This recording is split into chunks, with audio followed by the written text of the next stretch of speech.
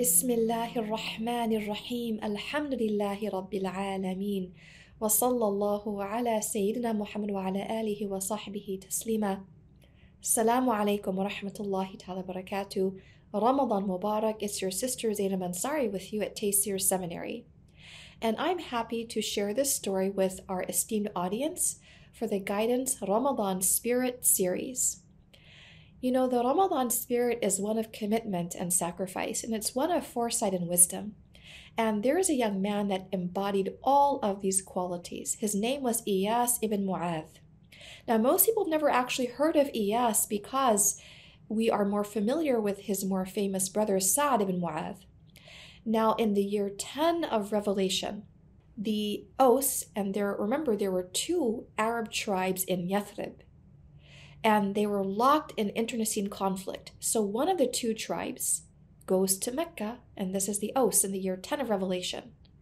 And they went to Mecca hoping that the Quraysh, they could induce the Quraysh to intervene on their behalf and fight the Khazraj. That was their reason, their only reason really for being in Mecca. The Quraysh thankfully demurred, they declined. But when the Prophet ﷺ heard that a group from uh, Medina, from Yathrib, from the Aus had come to Mecca, he sought them out in his da'wah. And he approached them, saying, I know for which purpose you've come to Mecca, but shall I not offer you a purpose that is better than that? So they listened, and the Prophet ﷺ recited to them the Quran, told them about Allah Ta'ala, God the Almighty, invited them to Islam, and presented to them something that obviously was, was much better than what they had come for. But they were not receptive except for Iyas ibn Mu'adh. Iyas had the courage, as probably the youngest member of that group, to stand up amidst his elders and to say, Has the Prophet ﷺ not given you something or presented something better than that which you came for?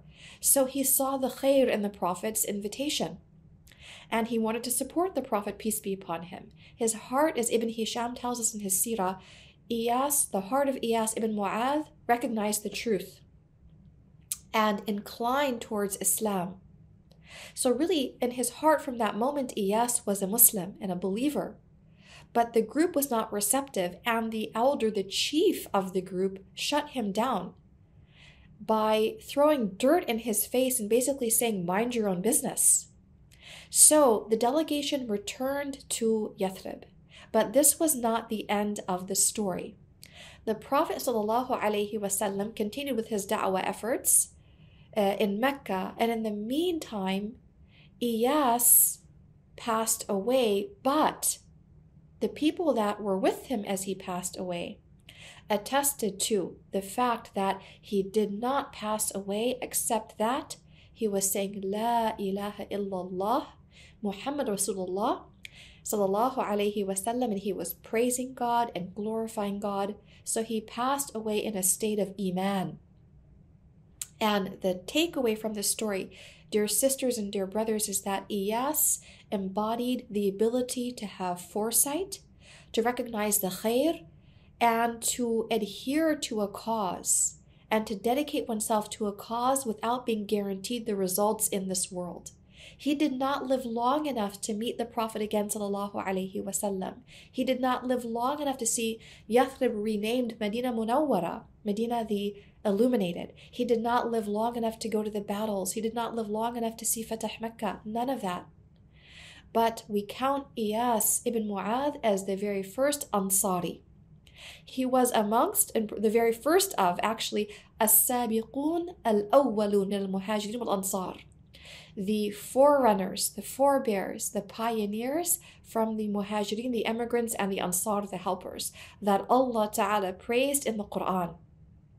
During these blessed days of Ramadan, we ask Allah subhanahu wa ta'ala to grant acceptance and forgiveness and a vast reward to our pioneers from that first generation We ask Allah Ta'ala to join us with them. We ask Allah Ta'ala to alleviate the suffering of the Mustada'afin in Palestine and to free Palestine in our lifetime.